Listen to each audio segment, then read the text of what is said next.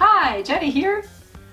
I will be making the third of my four squashes today. Today we will be making a butternut squash. I found a recipe for some caramelized butternut squash, so I thought I would try that one. So let's get started. For this recipe you are going to need one butternut squash, three tablespoons of butter, a quarter cup of brown sugar, and a teaspoon of salt.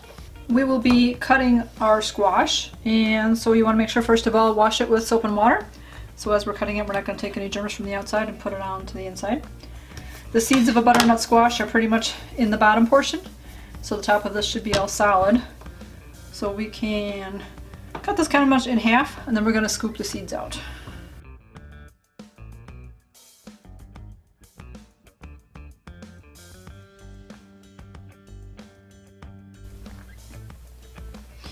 You can toss these seeds if you want to, or you can keep them and roast them, just kind of like you do pumpkin seeds.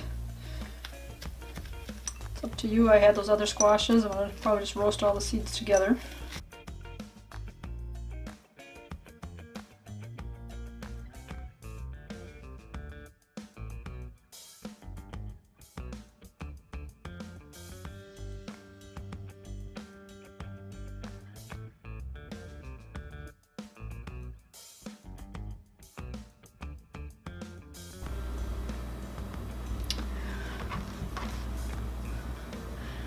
So when you have the seeds out of there and get the, the stringy bits out of there, it should be nice and smooth.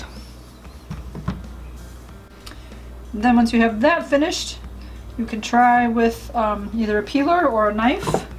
For this we're going to take all the skin off and then we'll cut it up into chunks.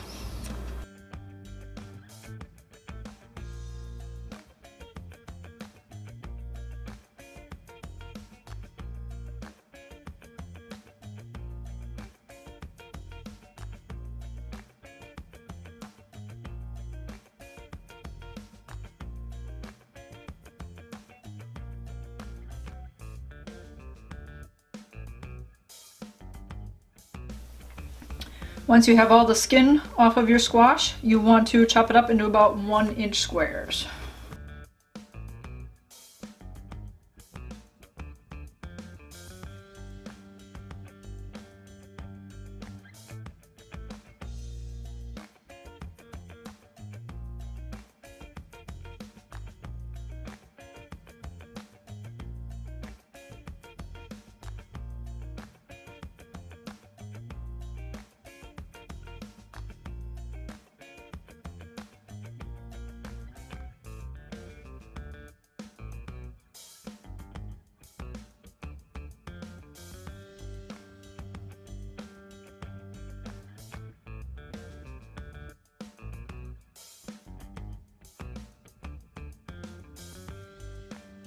We are going to melt three tablespoons of butter.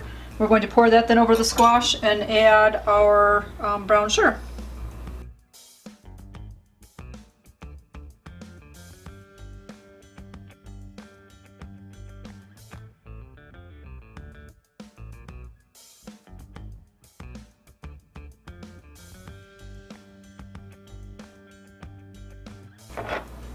I'm also going to add our salt.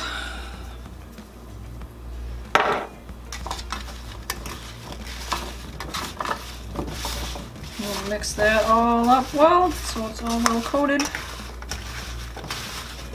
We will bake it in our 400 degree oven for about 40 minutes.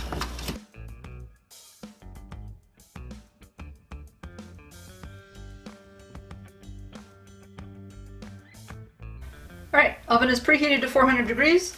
You make sure your squash is in a single layer. We're going to bake that for 40 minutes. We're to check it at 20 minutes and stir it, but then 40 minutes total.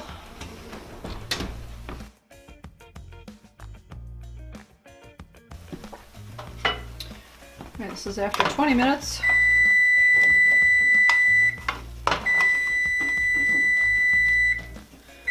Nice. It's already feeling pretty soft.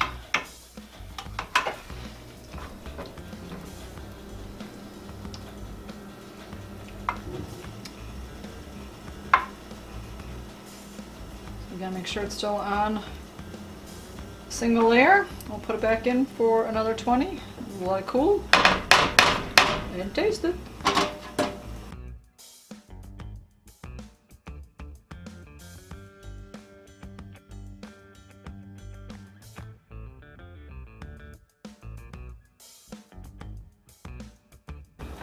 So there we go. The caramelized butternut squash is all finished.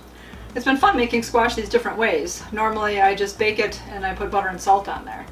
So it's been fun trying different things. So I hope you enjoyed this video. I will leave the recipe for this down in the description below. Let me know in the comments down below if you've eaten butternut squash before um, and how you like to prepare it or any other squash and what's your favorite recipe. I'm going to enjoy my squash now. You guys keep it positive. Go make it a great day. Bye bye. So soft. Mmm. And brown sugar. Oh, oh.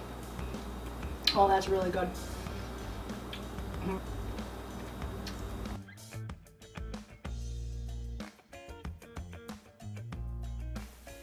Hi, Jenny here. Today we'll be making the third of four videos on how to make squash.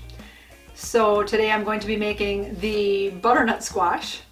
I found a recipe for some caramelized butternut squash.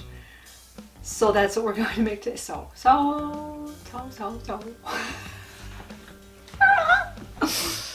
Outtakes.